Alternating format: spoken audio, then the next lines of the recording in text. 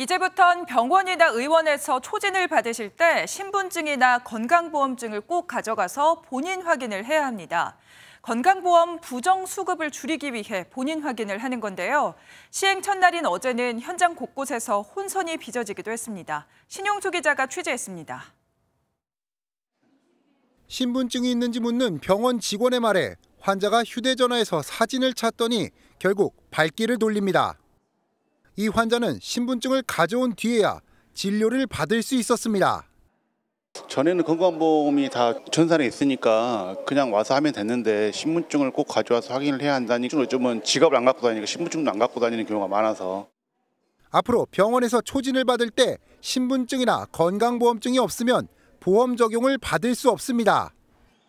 대리 처방 등 악용을 막기 위해 본인 확인 절차를 강화한 겁니다.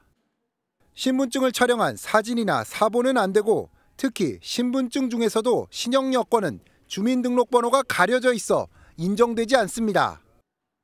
하지만 병원 측도 이런 내용을 잘 알지 못해 사진으로 신분증을 대신하는 장면도 포착됐습니다.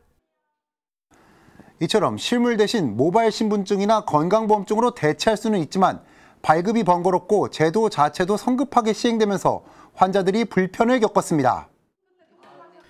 특히 스마트 기기가 익숙지 않은 고령 환자들이 어려움을 겪는다는 지적이 나왔습니다.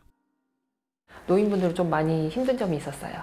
저희가 많이 도와드려야 되는데 또 그렇게까지 할 인력도 저희도 부족하고 해서 또 모바일 건강보험증을 대리 발급받을 수 있다는 사실도 알려지면서 제도가 더 보완될 필요가 있다는 지적이 나옵니다.